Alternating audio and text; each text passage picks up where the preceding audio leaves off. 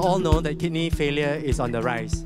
And every day there are four people who will be diagnosed with kidney failure. So we want to encourage through this event peritoneal dialysis as a very good alternative to hemodialysis. We feel that it is gentler, it enables continuous clearance because it is carried out daily. This is very similar to the way our healthy kidneys function. People can do peritoneal dialysis at home, in the offices, somewhere far away from where people would normally notice.